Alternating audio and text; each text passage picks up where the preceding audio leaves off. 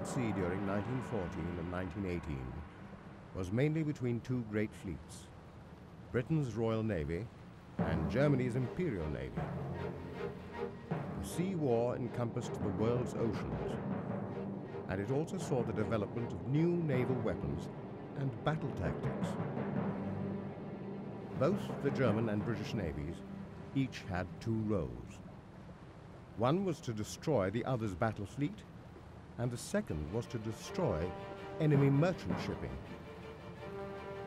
Both sides went to war in 1914, with both these roles given priority.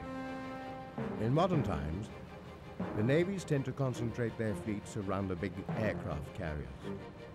In 1914, however, and later in 1939, it was the battleship that were the fleet's flagships. These were the largest types of warships afloat and had the biggest guns. Prior to 1914, the battleship had gone through major changes. At the turn of the century, this type of battleship had guns of different sizes. There would be four 12-inch guns in the main turrets, with smaller caliber guns along each side. The purpose was to be able to engage all types of warship and from different angles. But as the years progressed, there were many changes, and a new way of thinking was to produce a new type of battleship which had much larger guns. This was called the Dreadnought, so called after the first British vessel which began this type. The Dreadnoughts were given 10 12-inch guns with just a few lighter weapons for close defense. When this battleship came into service, it immediately made all other previous types obsolete. Germany, keen to build a navy as strong as Britain's, embarked on a massive shipbuilding program.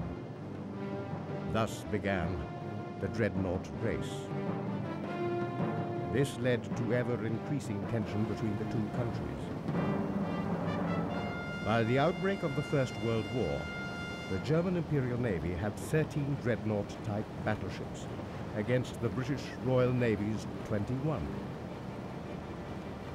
The German types, however, were vast improvements on the original British type. They had much larger caliber guns. They had 15-inch guns on all turrets. These guns had a range of more than 12 kilometers. This was three times that of the range of the pre-Dreadnought type battleships. However, during World War I, the battleship's effective range of firing was limited to the primitive capability of the optical aiming instruments and devices. Another development was these new types also had much more efficient engines, burning oil rather than coal, which gave them a much greater range. Torpedo launchers were also fitted to the new battleships. At the outbreak of war, the opposing fleets sailed to their wartime bases. For the first year, the war at sea was relatively quiet, and the new battleship saw little action. In January 1915, however, there was a serious clash in the North Sea off the Dogger Bank. Intercepting German radio signals, that their battle cruisers were making ready for an assault.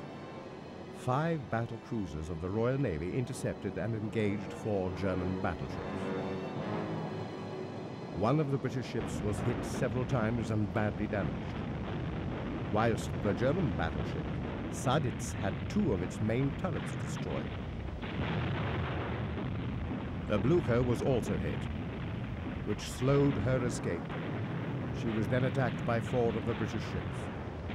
She was sunk, with nearly 800 of her crew going down with her.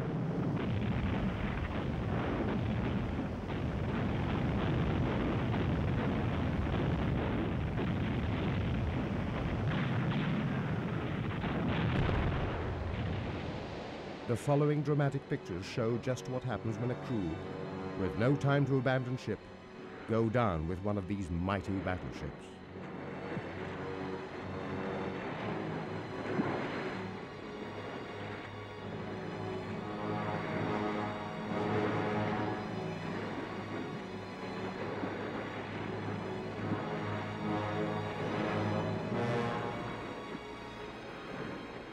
Unable to get clear in time, they are sucked down with her.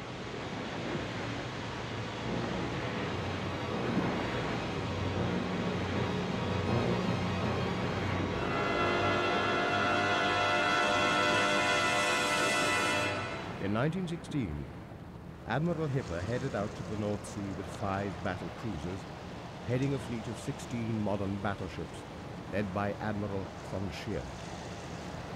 They were attempting to draw the Royal Navy out of their base in England.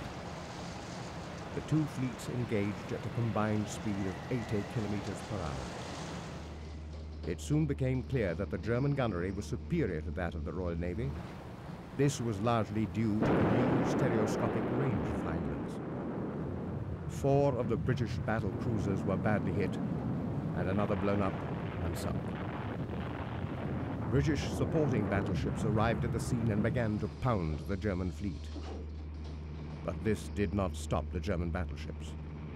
They fought back and sank yet another British battle cruiser.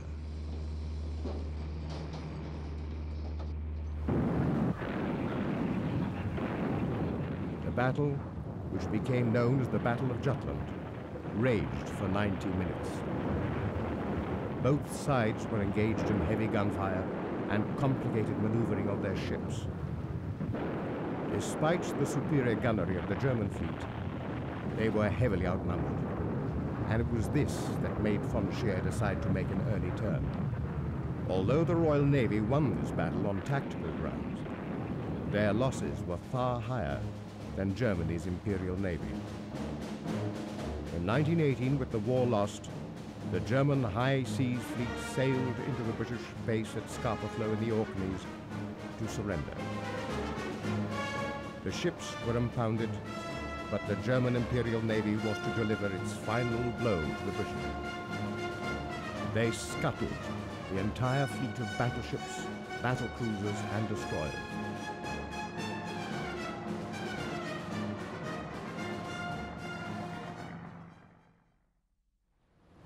When the Second World War came, the part played by sea power was not that different to the part played during the 1914-18 conflict. Its prime role remained in securing the oceans and denying them to the opposing fleets in order to ensure that maritime communications could be maintained. Thus, navies were still centered around the battle fleets, and at the outbreak of war, the battleship remained their primary vessel.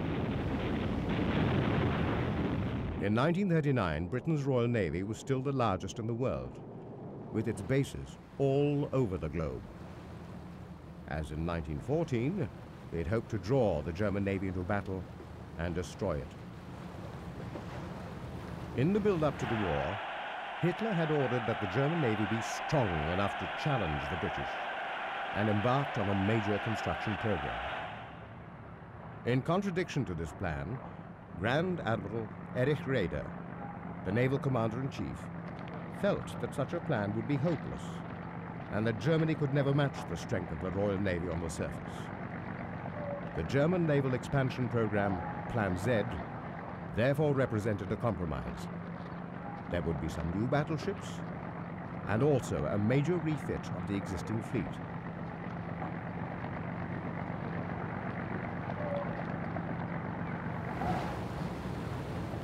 One of the first battleships to see active service was the Schleswig-Holstein, which was deployed during the Polish campaign.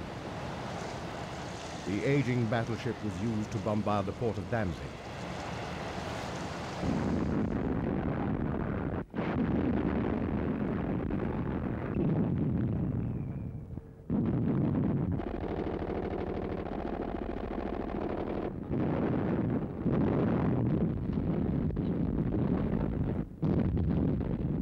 Schleswig-Holstein was the last of the pre-Dreadnought battleships.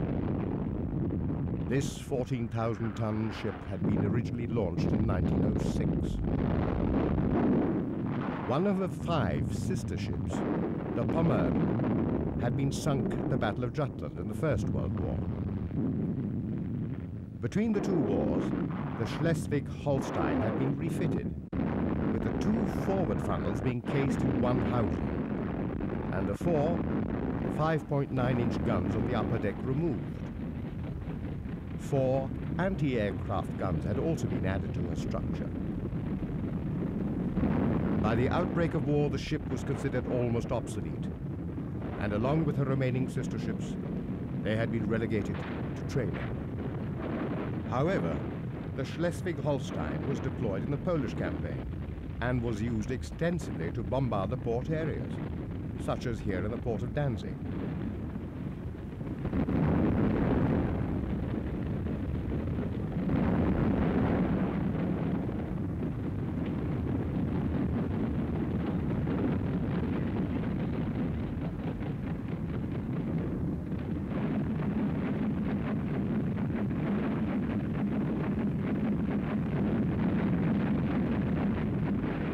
ship had sailed into the port with storm troops hidden below decks.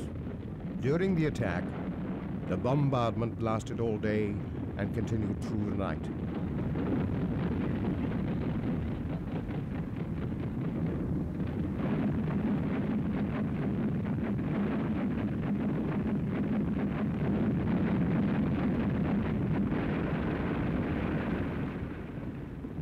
Polish port, which was being used as an ammunition depot, was heavily defended. Finally, after a very gallant defense, the Poles capitulated.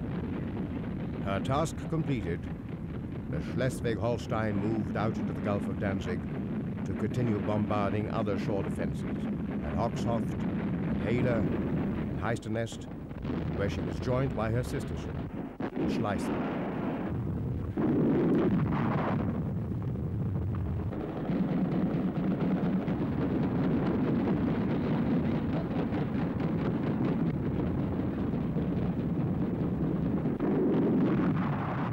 This left the way clear for the troop ships to pour into Danzig. Danzig had been part of Germany until the end of the First World War, and Hitler had been determined that it should be returned to the Reich, taken by force if necessary. The attack had started on the 31st of August, and on the 2nd of September, Hitler had indicated to the Western Allies that he would withdraw from Poland, provided that he was allowed to retain Danzig and the Polish corridor. This was dismissed, and a joint ultimatum was given to Germany to withdraw her troops from Poland within 12 hours or find herself at war with Britain and France. But the bombardment had continued, and it was not until the 7th of September that the garrison of 182 Polish soldiers had finally surrendered, leaving it clear for the troops and equipment of General von Bock's Army Group North to disembark.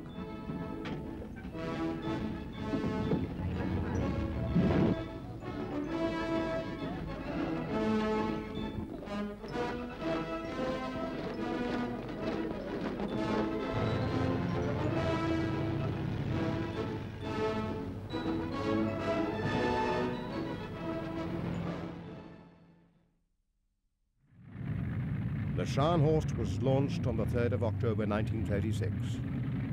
This fast and robust vessel, despite the size restrictions of Germany's fleet laid down by the Versailles Treaty, weighed 32,000 tons. Her sister ship, the Gneisenau, was launched two months later. These two new ships gave a new slant to the definition of a battleship. By sacrificing weight of armament, instead of protection and armor plating to secure high speed. The Scharnhorst had heavy anti-aircraft guns, 14 of them, coupled with four high-angle directors. She also had nine 11-inch guns and 12 5.9-inch guns mounted in the turrets. The Scharnhorst and the Gneisenau spent the first month of the war at sea, plaguing the merchant shipping convoys in the North Atlantic. In November 1939, they intercepted a convoy off the coast of Iceland, escorted by the armed merchant cruiser Rawalpindi. She was sunk by Scharnhorst after engaging her to enable the convoy to escape.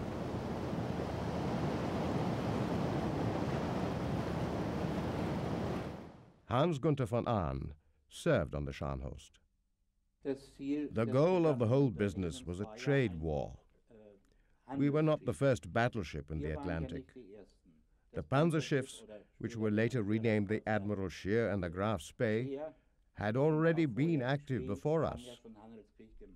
The Scheer was our example, as it had been very successful, and we were ordered to carry out our attacks using the same methods. This meant to set sail and find as many convoys and merchant ships as possible, and to either destroy them or capture them and bring them back to port. Well, the British had already added armored merchant ships to their convoys as protection, and these were armed. And sometimes they were protected with battleships or cruisers. We wouldn't always risk going into battle against a ship which may have had better armament than ours. This could have had severe consequences. This would only result in us losing our ship or bringing them back battle damaged, and this would have taken us out of the war either for good or whilst being repaired. We had many ships around us in our battle fleets, which were used for reconnaissance. We also had our aircraft. These would search the seas for the convoys, and in particular those without escorts, although sometimes the merchant ships were disguised and had hidden guns. Unfortunately, most of the ships or convoys that were sailing without escorts were ships that were not carrying any significant or important loads, or were empty. But that didn't stop us. Before we would engage and start to shoot, we would always give the convoy the opportunity to stop and surrender. We attacked the ones which hoisted the war flag or sent out Morse or radio signals for help. We did capture quite a few ships. Most times we operated independently. In fact, both the Scharnhorst and the Gneisenau acted independently of each other. But both ships came under the direct orders of the battle fleet commander. Although we were in the same fleet, we rarely came into contact unless it was to receive new orders concerning posts or reconnaissance areas. During the campaign in the Atlantic, we were at sea for nine weeks. On the 7th of April 1940, Britain's Royal Air Force spotted German merchant ships steaming north towards Norway. They were headed for the ports of Narvik and Trondheim. Each of the ships, disguised as coal ships, were packed with stormtroopers and assault troops. Germany was about to invade Norway. Amongst the fleet were two of Germany's capital ships, their battleships Scharnhorst and Gneisenau. There was also two-thirds of Germany's U-boat fleet deployed to protect the troop ships. Although being spotted by the RAF, fog and low cloud had helped to mask the ships and although the British Home Fleet had been alerted, they were slow to respond to the possible threat. The convoys reached their destinations relatively unhindered, although one of the merchant ships had been sunk by a Polish submarine. One British destroyer, which had also managed to intercept the fleet, was rammed by the German cruiser Hipper, which sent her to the bottom of the North Sea. German seaborne troops made five separate landings in Norway, at Oslo, Kristiansand, Bergen, Trondheim and Narvik, whilst airborne troops seized the airfield at Stavanger. All of the German objectives were taken with relatively little resistance from the Norwegians. However, by the time of the invasion on the 9th of April, the British Home Fleet had almost caught up with the German fleet, and whilst the troops were being landed safely, there were soon to be ferocious battles going on at sea. Both German and British losses were going to be heavy.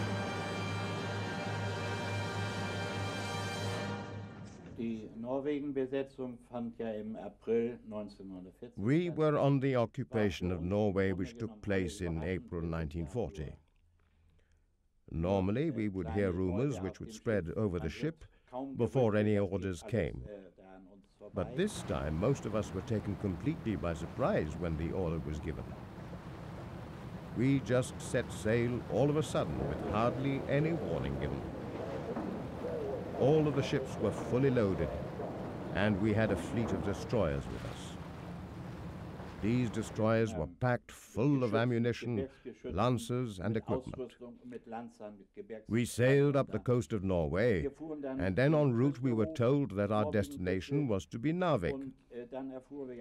Our job was to travel with the destroyers to the port, protect them whilst they went in and the troops disembarked and all of the ammunition and equipment was unloaded, and then protect them on the way out again. The journey up was pretty rough. There was a gale blowing and the seas were running high. It was worse for the destroyers. It got so rough at one point that equipment was falling overboard. And not just equipment. Some men went overboard as well. It was that rough. Well, we finally took the destroyers in to Narvik, and they unloaded. Whilst we were waiting for them to come back out, we were attacked. It was early morning and still dark, and the British fleet had caught up with us. The battleship Renown, we fought with her for about two hours. The Gneisenau was also involved. We managed to get away and sailed towards our destroyers as we had to get them out safely. However, we heard that it would no longer be necessary as the British had caught them on the way out, and they were all lost. The missions we were on during the Norwegian campaign, and I did five more of these, usually lasted about a week. Sometimes they would last three weeks, and the longest one we did lasted for nine weeks, which is a long time on the Atlantic. We sailed 18,000 nautical miles. Life on board could be difficult at times. But being seamen, we were used to living in small, cramped spaces. And we were perhaps better off being on a big battleship rather than on one of the smaller ships. Most Germans like to eat potatoes. And it's funny, but that's what I missed most of all. Of course, it would have been impossible to carry enough potatoes on board to last 2,000 men for nine weeks. There would have been no room left for anything else. We had a good crew, and the officers and rankings were all very fair. Of course, we always moaned about the boss, but without someone in charge, it is impossible to run a ship. There was never any question when orders were given. You just carried on your duty. But quite often the job was not easy. At sea, there would always be what we called a war guard. There was a war guard for both crew stations and the guns where I was. A starboard guard and a backboard guard. There would also always be a guard on duty guarding the ammunition and machines. We all joined in with this duty and took turns on a rota. On some occasions, we were all on duty all of the time, so there was little time for recreation or resting.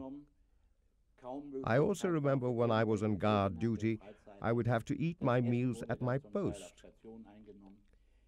Sometimes this war guard would be halved. Then there were only four of us so we could take shorter duties and have time to rest. This was usually when the weather was good and we could see more. There was also a night guard on the guns. This was usually the middle gunners, and during the daytime, the heavy gunners. This ensured that we had our guns manned and operational 24 hours a day and could act immediately. The worst time for us was when we were out in the North Sea. Out in the real cold, icy conditions. The cold made everything difficult, and the conditions were hard. It wasn't the same for the rest of the crew on board, because when the ship was cruising, there was heating, except for the towers where we were. They had nothing. We used to borrow electrical heaters from wherever we could find them but this was not possible out on the rough sea. so we usually ended up standing for hours on duty in freezing cold. This type of work is no piece of cake, let me assure you.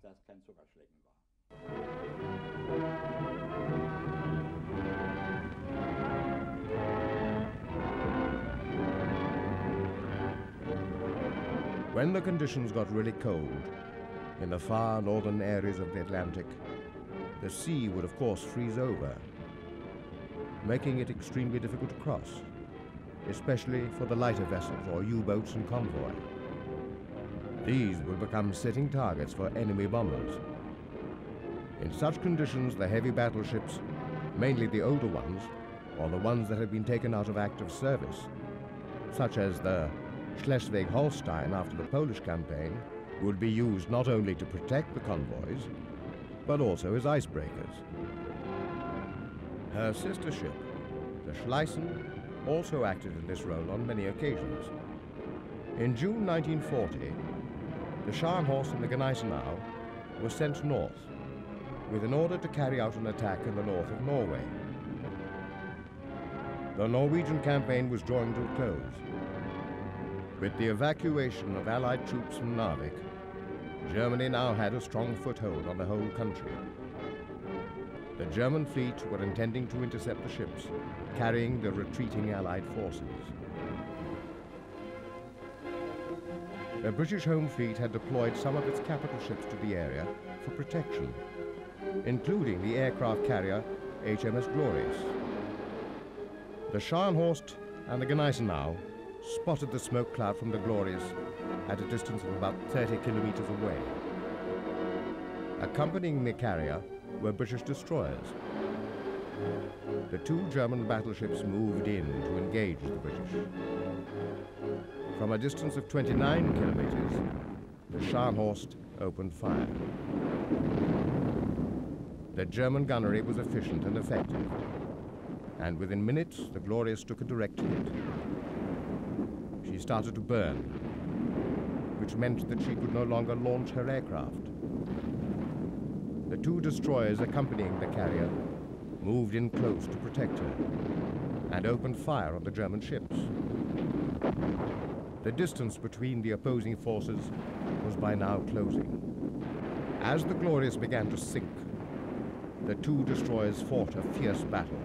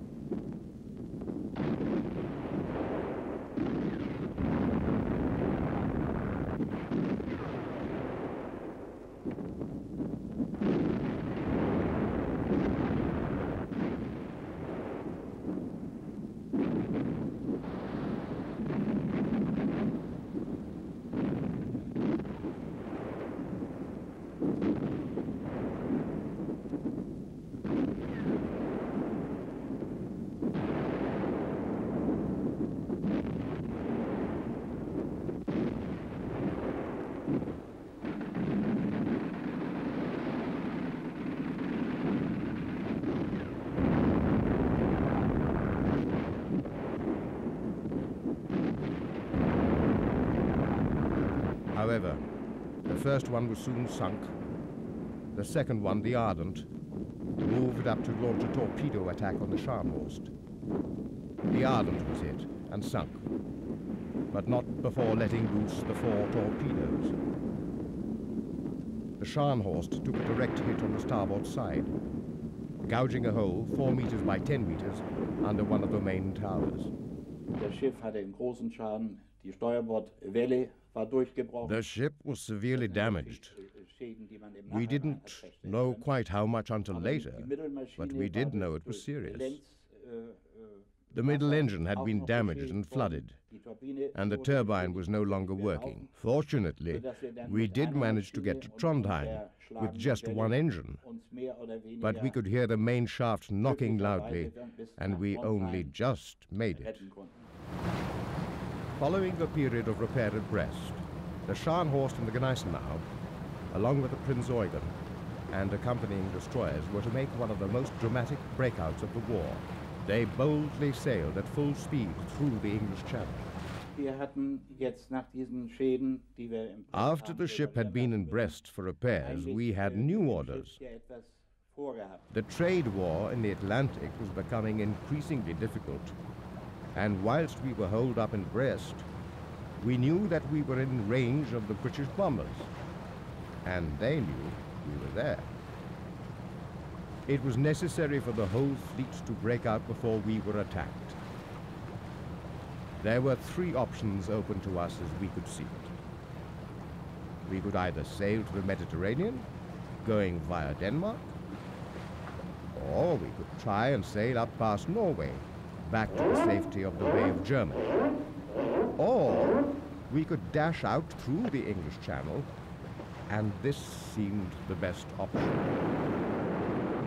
The British, however, were expecting this, and did everything they could to make the channel impassable. However, we took the chance, and much to the disbelief of the British, we made a dash from the harbour. There was an attack from the bombers, but it was a cloudy night, and they were not successful in stopping us. Somehow we were just very lucky. And it was not until we got to the most narrow point in the channel at Dover Calais that we were spotted again. They attacked us with their land battery. But this was no good, as we were just out of range of their guns. Then the aircraft arrived. All around us, the Scharnhorst, the Gneisenau, Prinz Eugen, and our destroyers and torpedo aircraft, we were all shooting like mad. The British also sent some torpedo aircraft. These approached us very bravely and made a gallant effort to attack us. But they were too slow. They didn't get a chance to fire one torpedo. We shot down every one of them with our anti-aircraft batteries.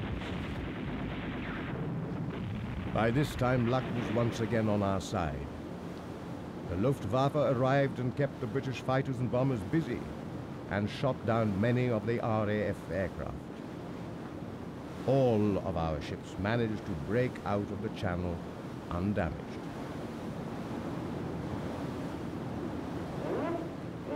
The Scharnhorst continued for the next two years plaguing Allied shipping. But in December 1944, her end was in sight. During the Battle of North Cape, she was engaged and sunk by British cruisers.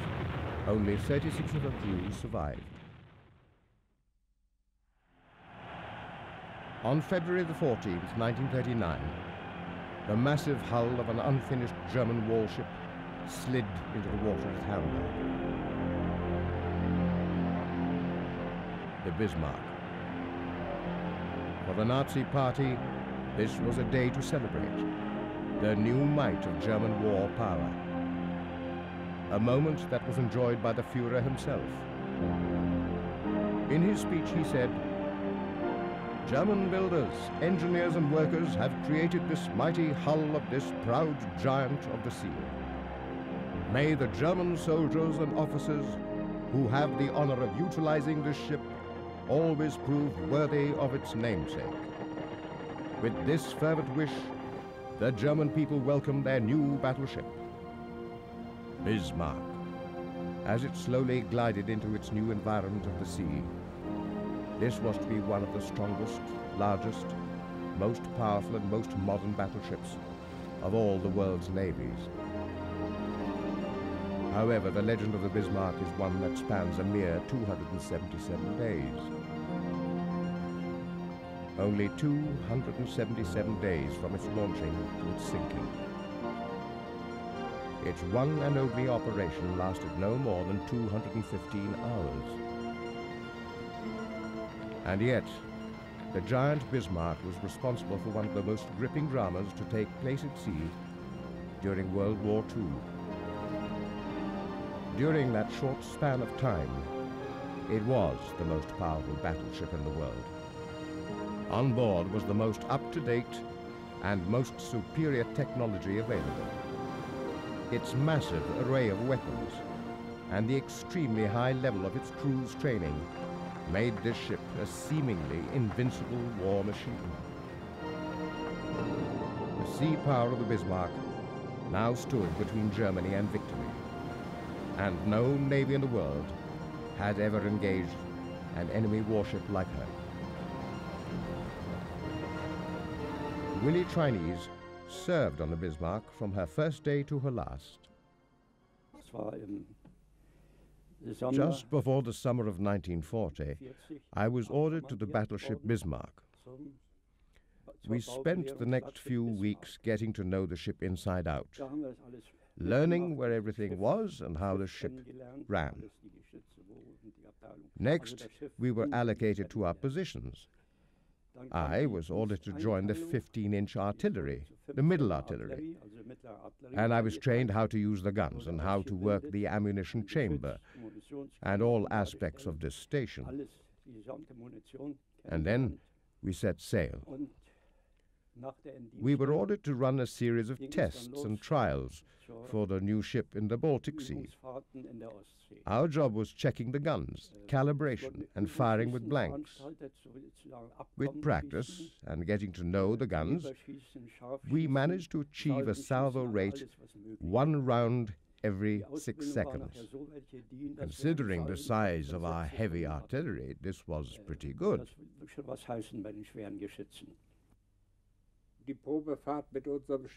We did the test runs in the Baltic Sea in two separate runs. The Baltic Sea is extremely tricky when it is windy. Many of us experienced this, and we had to pay for it. und haben bitter dafür bezahlt. Anybody who has served on a ship in these seas will know what I mean by äh, paying for it. weiß, was ich damit meine, mit bitter bezahlt. Wie gesagt, wir hatten dann zwei Probefahrten. As already mentioned, we did two sea trials in the Baltic Sea. Die erste war die The first trial was when Blohm and Voss, the builders, uns das Schiff handed the ship over to us, and the second trial uh, finished in May. die war dann im Mai abgeschlossen.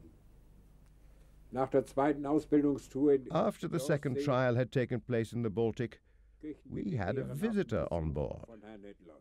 Herr Hitler. Damit war so We all knew then klar, dass wir demnächst that very soon we would be going on a mission. And we were right. In der Nacht zum On the night of the 19th of May, we set sail towards Kiel and then to Denmark. in Richtung Kiel und dann umschwenken nach Dänemark. The British had been waiting for the Bismarck to make its move. And as the mighty battleship slid past the coastline of Norway, she was spotted. A signal was transmitted to the Admiralty building in London. A Royal Air Force reconnaissance aircraft was sent to confirm the sighting.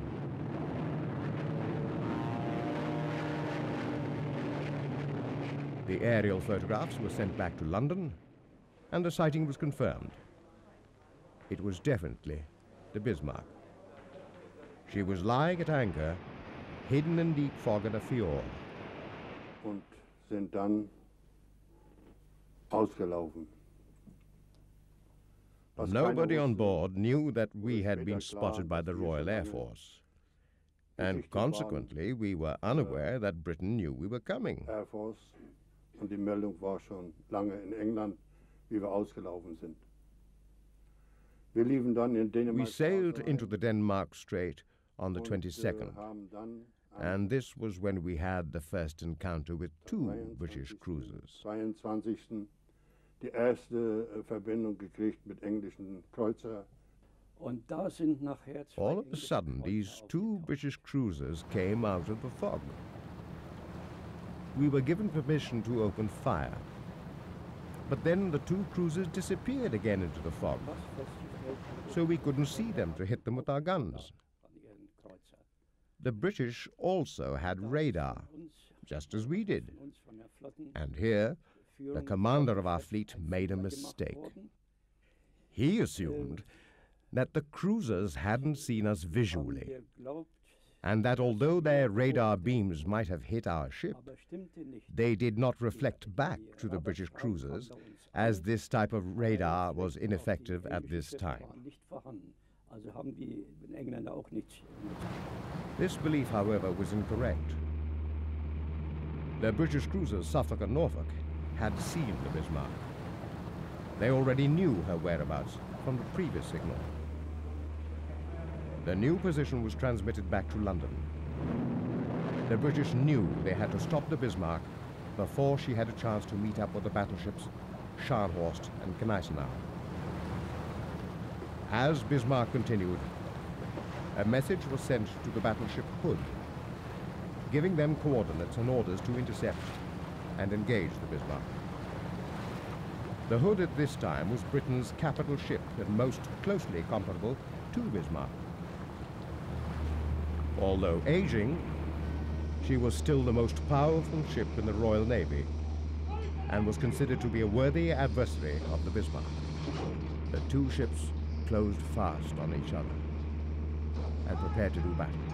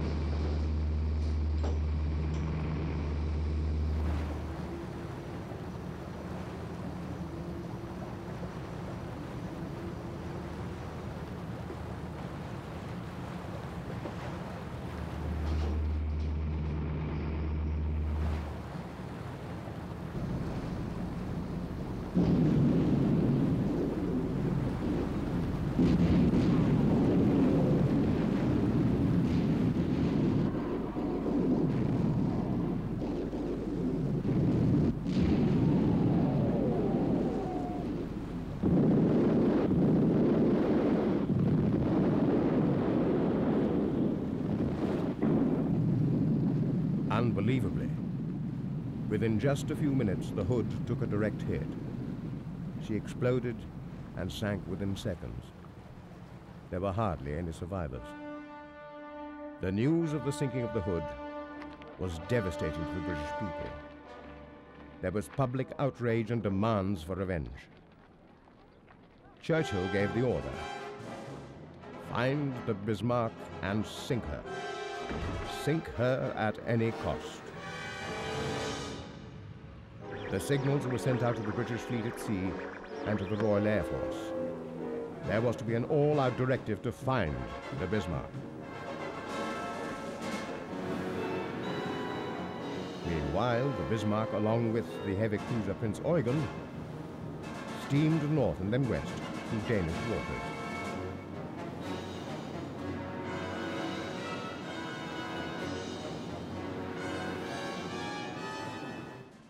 Wir selber hatten drei Treffer.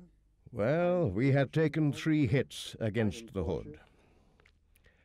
One in the engine room, one in the front of the ship, and one in the launch position. sind dann weitergelaufen. One of the crew had died in the battle. We sailed a bit further, and then it was decided that the Prinz Eugen should carry on towards Greenland, and we, the Bismarck, would try to make a dash to Brest for repairs. The problem we had was that the welded seam between the backboard and the second boiler room was seriously damaged and water was coming in. We were all on the alert and were kept very busy. When water comes into a ship, as you can imagine, this is the worst that can happen. People start to panic. Later, after this, things started to settle down, and we went back to our normal combat posts, and the ship steamed on. But for the British, the hunt was on. The Bismarck was not going to escape. Catalinas took off to join in the search. Somewhere in the dense cloud and fog, they knew the Bismarck was steaming at full power to reach a safe haven. Somewhere between Greenland and the coast of France. Britain's fleet was ready. The British were full of anger and longing for revenge. But they still lacked the target. As the Catalina scoured the ocean, there came a break in the clouds. A telltale wake of a ship was spotted. As the ship came into view, the signal was flashed back to the fleet. The target had been sighted. They had found the Bismarck again. The ship's navigator sprang to life. The position was plotted. Britain closed in for the kill. The carriers Victorious and Ark Royal were deployed. Their swordfish were armed with torpedoes. The Bismarck was not going to be allowed to escape again. The biplanes took off from the decks of the carriers. They launched an assault on the Bismarck.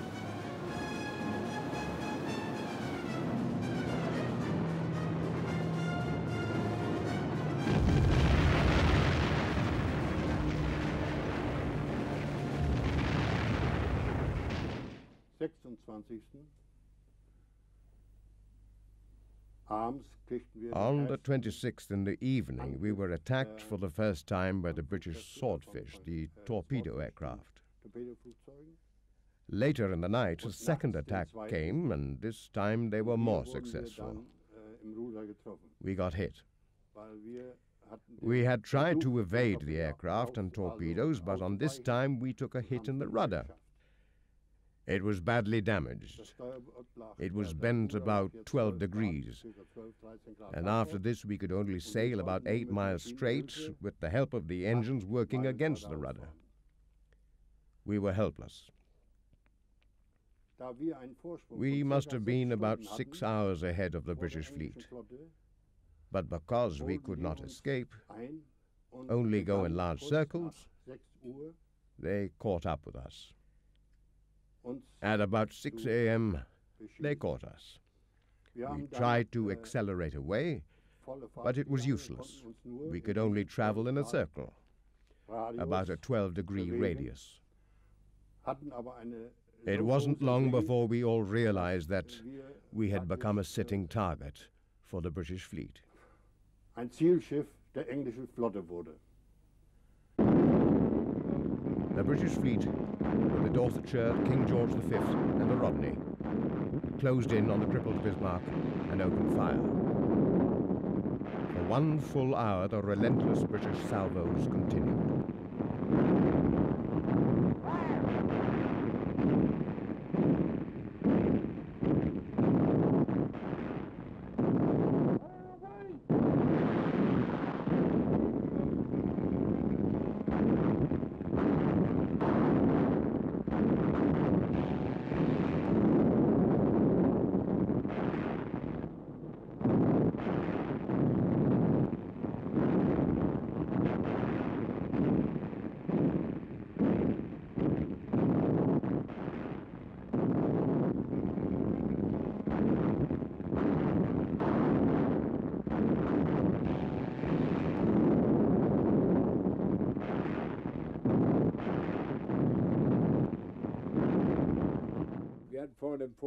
We took two direct hits on the front of the ship. The tower crew came up top and warned us to get away as quickly as possible, as the tower was about to explode at any minute. The ship's guard sounded the order for the crew to retreat. We ran back to the part of the ship where our quarters were. We were below deck. There was panic everywhere. The crew from the operating rooms, the ones that manned the boilers and turbines, had been given the signal Measure V. The V meant versunken, sinking. We had 15 minutes to abandon ship. I tried to open the hatchway. This was impossible because the flax had fallen on top of it. I shouted out for someone above to try and move them, which luckily somebody did hear, and they were moved. I let the other comrades out first and made sure the room was clear. Then there was another direct hit on the deck. We lost so many men, and many more were badly injured. Then I managed to get to the backboard side. This was a mistake on my part. The water was pouring in. I had to pull myself up higher out of the water and get to the next level up the ship. You cannot imagine or believe what I saw. I was on the deck in front of the Caesar Tower. There were at least 50, probably more like 100 dead bodies. You just cannot imagine such a sight.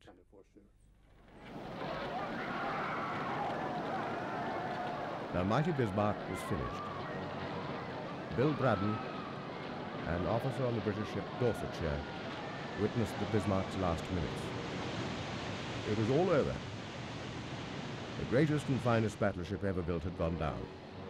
Not in disgrace, but in a blaze of glory. She fought like a tiger right to the last minute. There was no cheering on our ship. Was a terrible sight. Her crew who had faced death with bravery now faced death in the tempestuous sea. Although it was May, the water was freezing. The sailors were too cold and weak to hold onto our ropes as we tried to save them. We had to stop. A U-boat had been spotted. The ship trembled as we pulled through the water. If we had waited just a bit longer, we could have saved so many more. We threw overboard anything that could float. There were several hundred men, and we had to leave those poor devils behind. All of us, even our captain, cried with frustration. In all, 111 men from the Bismarck were saved, but almost 2,000, including all of her officers, had perished. Two months after the Bismarck had been launched, her sister ship, the Tirpitz, had rolled down the slipway. She had been deployed to Norway in 1942. The numerous fjords gave her plenty of relatively safe anchorages. In September 1943, British midget submarines known as X-Craft had managed to get into her fjord and damage the Tirpitz. In April 1944, British carrier-borne aircraft launched an attack on her.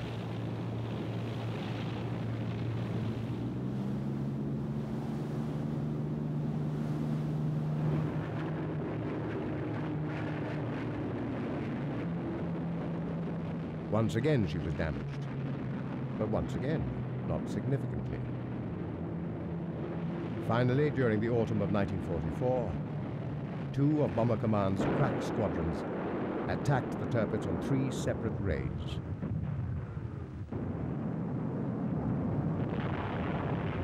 On the 12th of November 1944, they damaged her so severely that she capsized. The last of Germany's big battleships had better end.